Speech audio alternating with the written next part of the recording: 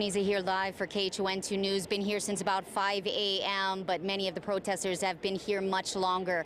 Many of them camped overnight from yesterday. Now, we did arrive on island about 2 o'clock yesterday afternoon and have been coming back and forth to this area. We arrived 5 a.m., like I said. The scene right now, they have just rolled in equipment to begin putting barriers along Daniel K. Inouye Highway. Now, the Department of Transportation and other city officials here have been telling us that they plan to block Daniel K. Inouye Highway in either direction on either side of Mauna Kea Access Road, roughly 800 feet. Now, they have been warning everyone that is here to move their vehicles because at this point there are cars lined down the road, likely a quarter of the mile in each direction. Now, once they put those barriers down, down, they will be blocking those cars in. So we even had to move our vehicle so as to not get stuck.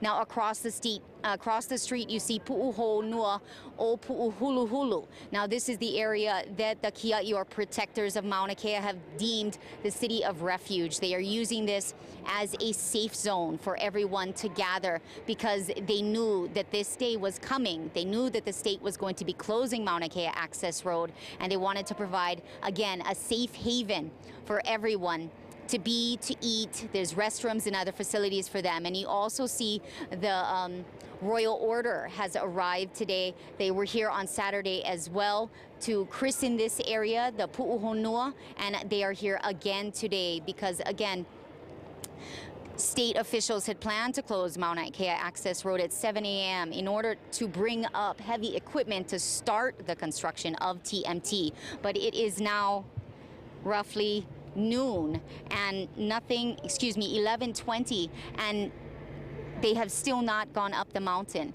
We've got hundreds and hundreds of protesters and Kia'i here blocking access to Mauna Kea. Many of them are remaining on the street in this area. You can see with their Hawaiian flags, with their signs. We also have many of the organizers here that are continuing their communication, as well as police, DLNR, sheriffs, and other state and government officials. So higher up the mountain, if you look up Mauna Kea Access Road, you can see the larger group here. Now, like I said, many of these people have been here from very early this morning, roughly 3 a.m. The majority of this crowd started uh, pulling in. And then just beyond this crowd, in front of us, about 100 yards up Mauna Kea Access Road, you can see another large group of people. Now, there was a line of kupuna that had sort of tied themselves together with Maile earlier today, and they had planned to remain in the road road. But for their safety, they've chosen to move the kupuna off to the side.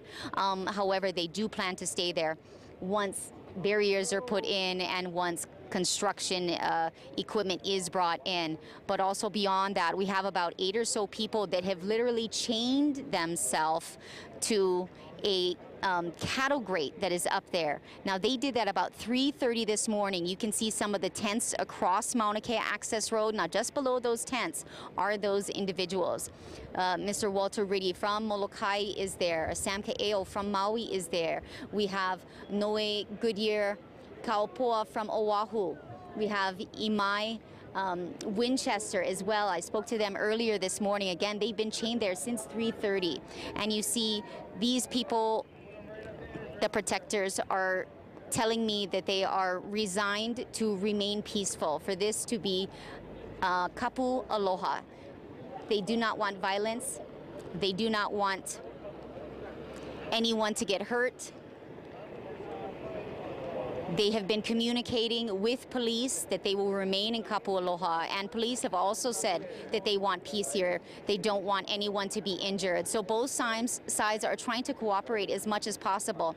However, the Kia'i say that they will not move from the mountain. We will continue to stream live. We will continue to update you as things are happening. And I'm Jenn Boneza live from Mauna Kea.